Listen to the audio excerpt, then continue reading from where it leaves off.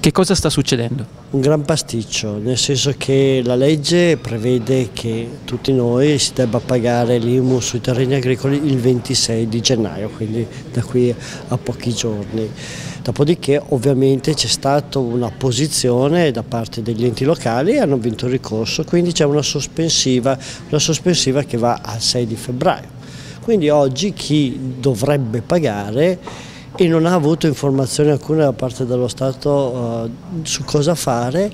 E so, lunedì vado a pagare, non vado a pagare l'IMO, anche perché poi il Consiglio dei Ministri, l'unico che è titolato, perché anche l'ha istituita questa tassa, l'unico titolato a dire come il contribuente dovrebbe comportarsi, ha deciso bene di riunirsi non oggi, non domani, non, non, parliamo di domenica ovviamente, ma neanche lunedì, ha deciso di riunirsi due giorni dopo la scadenza presunta del pagamento, insomma un gran pasticcio. Il contribuente che cosa dovrà fare lunedì?